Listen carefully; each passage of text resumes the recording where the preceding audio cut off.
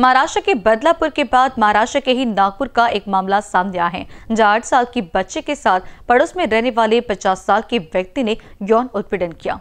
Nagpur police ने इस मामले में 50 वर्षीय आदेश धनीराम वासनिक को गिरफ़्तार किया है। पुलिस सूत्रों से मिली जानकारी के अनुसार, पीड़ित आठ वर्षीय बालिका के घर पर जब कोई नहीं था, तब वह पड़ोस में रहने वाले आरोपी आदेश वासनिक के घर चली गई। आरोपी ने खाना खरीद कर देने के बहाने बालिका के शरीर से कुछ कपड़े उतारकर यौन उत्पीड़न करने की कोशिश की। वह रोती हुई घर गई और अपनी माँ को आप बीती बताई। माँ उसे अपने साथ लेकर थाने पहुँची और शिकायत दर्ज कराई।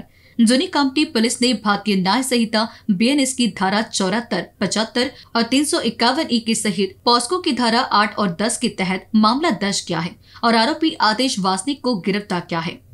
पुलिस स्टेशन में बीस तारीख को यानी कंप्लेनेंट अपनी आठ वर्षीय बालिका यानी उनकी बच्ची, उनके साथ में पुलिस स्टेशन में आए थे।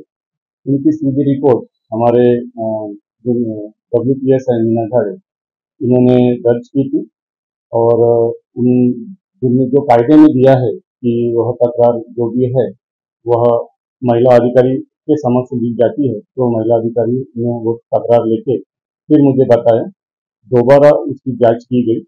और उसके बाद पुलिस स्टेशन गिनीकाम के यहाँ पर बीएनएस सेक्शन चौहत्तर, पंचहत्तर, तीन सौ इक्यावन तीन और सह कलम आठ और दस पॉक्स के तहत गुना दाखिल हुआ। यह छेड़खानी का मामला था और किसी भी तरह से यह लैंगिक अत्याचार का मामला नहीं है।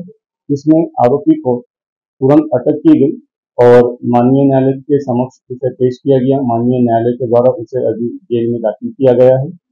इसके तुरंत बाद बालिका को सीडब्ल्यूसी समिति के सामने पेश किया गया। सीडब्ल्यू सीडब्ल्यूसी के समक्ष उनका स्टेटमेंट हुआ है और अभी आने वाले चंद समय में दुर्नीत का और पूरा तपास करके कम से कम दिनों में आरोपी के खिलाफ चार्जशीट हम कोर्ट में दाखिल कर रहे हैं। कैमरा पर्सन अखिलेश भारद्वाज के साथ अभिषेक पांसी की रिपोर्ट